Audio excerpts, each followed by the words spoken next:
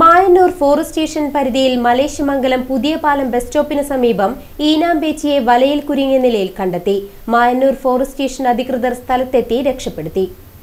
മലേഷ്യമംഗലം നടുവത്തപ്പാറ റോഡിൽ പുതിയ പാലം സ്റ്റോപ്പിന് സമീപം പന്തുകളി പറമ്പിലാണ് ഈനാമ്പേച്ചിയെ വലയിൽ കുരുങ്ങിയ നിലയിൽ കണ്ടെത്തിയത്. പന്ത് കളിക്കാനായി ഗോൾ പോസ്റ്റിനായി കെട്ടിയ വലയിലാണ് ഈനാമ്പേച്ചി കുടുങ്ങിയത്. തുടർന്ന് പ്രദേശവാസികൾ അറിയിച്ചതിനെ തുടർന്ന് മായന്നൂർ ഫോറസ്റ്റ് സ്റ്റേഷൻ അധികൃതർ സ്ഥലത്തെത്തി.